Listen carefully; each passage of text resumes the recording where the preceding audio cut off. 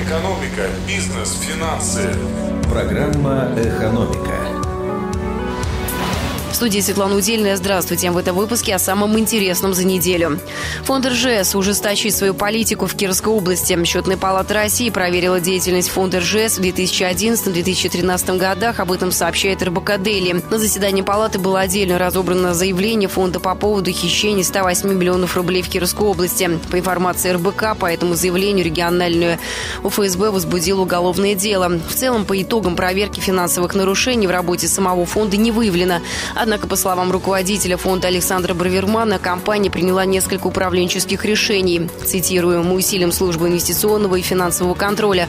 В том числе уже принят ряд кадровых решений. Конец цитаты.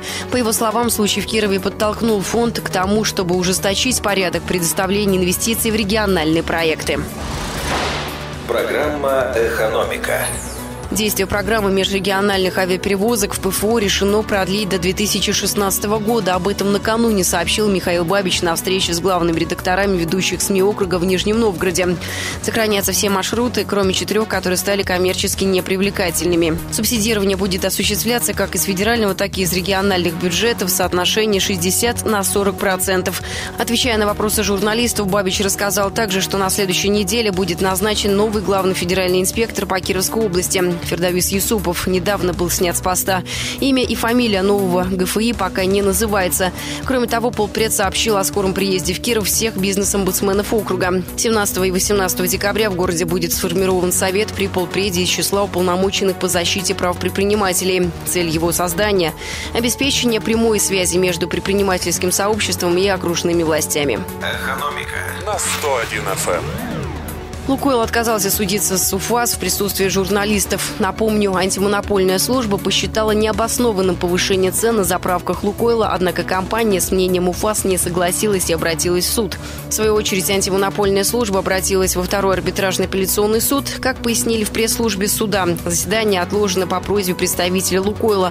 Оно должно было проходить в открытом режиме, и в суд прибыли представители СМИ. Однако Лукойл заявил ходатайство о разбирательстве дела в закрытом режиме в связи с необходимостью сохранения хранения коммерческой тайны. В итоге судебное заседание перенесли на 4 декабря. Лукойл к этому времени должен будет представить письменное доказательство для обоснования своей позиции. Экономика и к другим новостям. В Кировской области повысятся цены на пригородные поезда, сообщил глава Департамента дорожного хозяйства и транспорта Альберт Запольских. Сейчас в регионе самый низкий тариф по ПФО. Планируется довести его до среднего уровня по округу.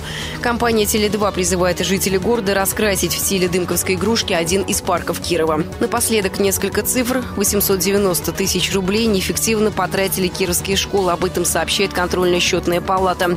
Дефицит бюджета Кирова в 2014 году составит почти полмиллиарда рублей, а в 2015-м 375 миллионов.